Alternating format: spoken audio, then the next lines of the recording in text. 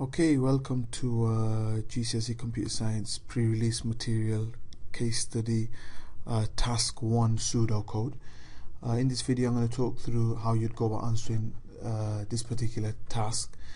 I haven't included all the spiel about the scenario at the start of the uh, case study um, on screen but just to summarize basically there's some dude um, and he's organizing uh, outings for senior citizens. Um, either the guy's got too much time on his hands, or the guy's just you know one of these good guys. Yeah.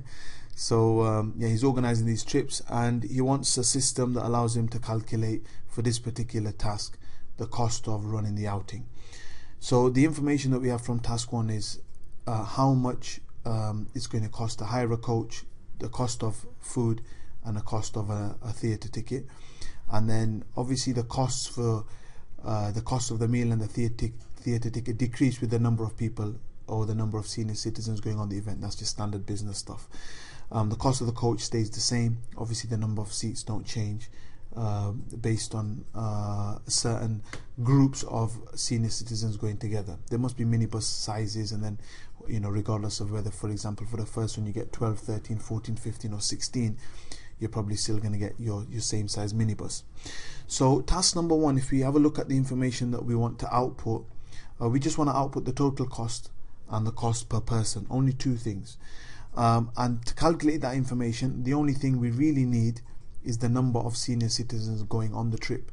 Because once we have the number of senior citizens going on the trip, we can allocate which category it goes into uh, in terms of the number of people.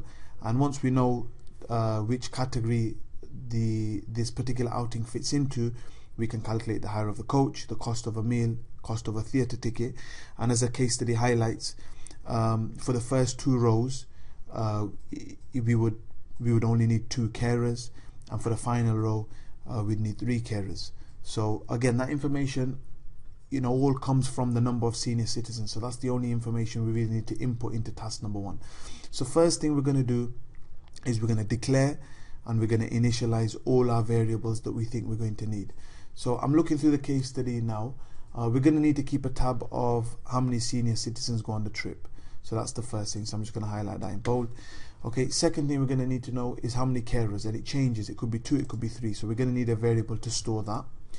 Okay, we're going to need a variable uh, that holds um, the total number of people. So we have senior citizens that's separate and carers that are separate, but we need one for the total number of um, people going on the trip. Now that's important because when we're calculating the cost uh, per senior citizen, carers don't pay. So we need to get rid of the carers from the total value and then divide it by the number of senior citizens so that carers essentially going on the trip for free. Okay. And the last thing that we're going to need is we're going to have to keep a track of the total cost as well. Um, the cost changes. Um, so I'm just going to highlight cost and those would be essentially our four variables. So let's just get them declared. We know uh, integer is going to be senior citizens. Yeah you don't get half a senior citizens so we don't need a float. And we're going to start that off on zero okay? We're going to need uh, carers. Again we just use int carers equals zero. And remember when you're declaring variables use meaningful names uh, make sure there's no spaces there's no gaps. Um, if you want to you know separate words then use an underline or uh, use a capital um, to start off the next word, but don't use any spaces. Uh, total number of people is going to be int total people. We're going to initialize that to zero to start off with, and the cost uh, is probably likely to be a float. We don't really know when we divide stuff together, so we're going to have float, and the cost of that is going to be 0, 0.0. Okay, so we've initialized and declared our four variables. Okay, next thing we need to do is we need to ask the question. So how many senior citizens are going to go on the trip? So we're going to do our standard print and we want to enter how many senior citizens. Enter senior citizens. Okay. And we want to read that into a variable. So we're going to read that uh, into our senior citizens variable. So we've got that number uh, in. Okay, now the case study highlights that if less than 10 people go on the trip or more than uh, 36 go on the trip, we you know they it can't we can't allocate for that. So the first thing that would make sense to do is check whether the number of senior citizens that have been entered in uh, is is within the accepted criteria. So we're validating the information that goes in straight away. So we need to make a decision. Do we need to carry on or do we not need to carry on? So we're going to go with a standard if statement. So if the number of senior citizens is less than 10, okay, because 10 is acceptable, or the number of senior citizens is more than 36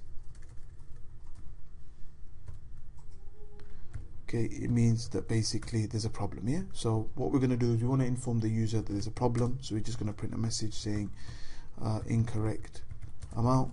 And we want to help the user here yeah? We want to, they don't know that, that maybe they don't know that the system doesn't accept these numbers so we want to let them know the only numbers of 10 and 36 citizens are acceptable yeah?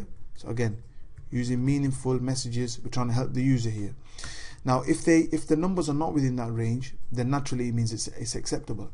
So now we need to decide does it go into category number one the row number one 12 to 16 people? Does it go into 17 26 does it go into 27 39 now I know some of the students are going to be sitting there thinking oh what's going on here? You know you've written that um, less than 10 are not acceptable. Obviously, less than 10 are not acceptable, but the number of people in the list starts off at 12. And how does that work? Well, it works because we've got to take two carers in. So for every 10 citizens, um, there's going to be an ad additional two carers. So then you've got 12. Similarly, for the last row, you've got 39, but the only number of citizens are only 36. So is there a mistake there? Well, it's not a mistake there because 36 the additional three carers brings you up to 39 so it's still acceptable to, to, to fit that row so that's the reason why the numbers on the minimum and the maximum are, are different from what the case study um, explicitly talks about in terms of the number of senior citizens. So next thing I'm looking at now is which row does it fit in. So else if uh, the number of senior citizens is going to be now there's different ways you can do this I'm just going to say less than or equal to 14 okay because I know that if it's less than equal to 14 and it hasn't the first criteria then it's going to definitely be uh, between it's going to be the first row 12 to 16 or 10 to 14 if we're looking at the number of senior citizens that we're talking about. So if the number of senior citizens is less than equal to 14 then I know the first thing is I know the carers are going to equal 2 so let's get that boxed in. And now word is automatically capitalizing certain things. So it's just capitalized carers there you know when you're writing this in an exam if you go capital letters go capital letters everywhere. If you if you go lowercase go lowercase everywhere. A capital letter variable compared to a lowercase uh, variable are two different variables. So although word will correct these things for me um, you just make sure that you're you know whatever you go with you stay you have that level of consistency throughout your program. So I've got carers number two. Now the total number of people I need to keep a track of the total number um, is going to be so total people is going to equal the number of carers and the number of senior citizens okay? So senior citizens. So now I've got a track of how many total people are and that's going to help me when I try and figure out the cost of the meal and the cost of a theatre ticket. So how do I calculate the cost? Well the cost is going to be the hire of the coach. So if it's going to be less than 14 it's going to be 150 and I'm going to add that to and again you can do you can do it separately. You can say the number of uh, the total number of people times uh, 14 plus the total number of people times 21. So you're doing it as two separate calculations, but I know that basically 14 and 21 is 35. You might as well just do it in one calculation, a little bit more efficient. You're just going to do the total number of people, total people, and we're going to times that by 35. Yeah, make sure you get your brackets in there so you got your math, math, mathematics working correctly. So I've, I've calculated the total cost there, and that's it, that's done and dusted. Now I'm going to replicate that same else if section for the next two segments.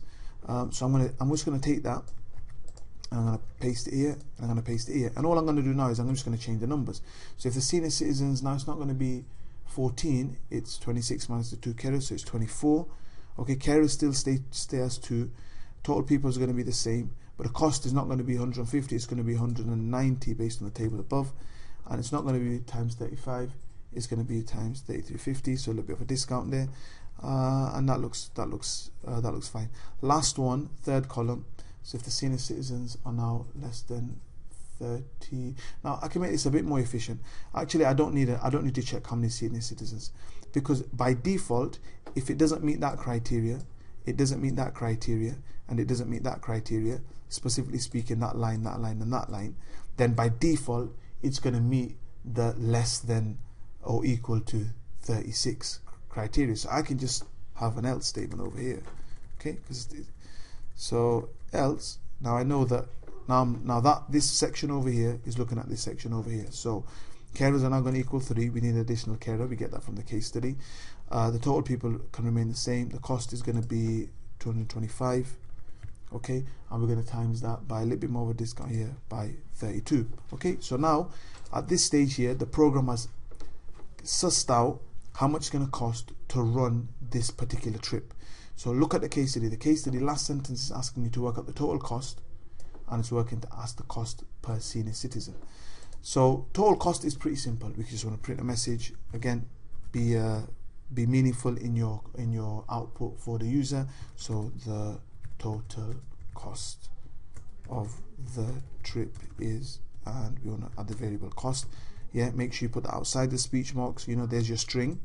Okay that's what get printed out. That's your variable. Okay and it's getting that from whatever you've stored into here. Second thing we need to do is we want to print off the cost per senior citizen. Now you can't use total people in this because total people takes into consideration the number of carers as well as the senior citizens. And that's why we had to split it out that's why we had to store it. We had to store senior citizens separately carers separately and total people separately. So I'm going to print off on the screen. And again there are different ways that you can do this. You could take the total number of people you know and then you could take away the carers and then you could you know divide it by the total cost. And there are different ways you can do this and that's fine. That's what programming is about. There isn't one solution to a given problem. But I'm trying to do it the simplest way uh, and trying to use the trying to use efficient uh, method of, of coding. So again, I, I want to output message, the cost per senior citizen is, uh, and then I'm going to do, well, it's going to be the cost, okay, and it's going to be divided by the number of senior citizens, yep, senior citizens and uh, again you can see I've, I've um, not included the carers in that because they go for free. I'm basically looking at the case study task number one. We've inputted the number of senior citizens. Yeah. We've done that. We figured out what row it uh, categorizes into. We've done the calculation on how much it's going to cost. And then at the end uh, over here we've printed off your total cost and your cost per senior citizen. Standard program. You got your, your variable declaration at the top your inputs your calculation and your outputs and that's your nice bog standard easy uh, simple programming uh, solution for task number one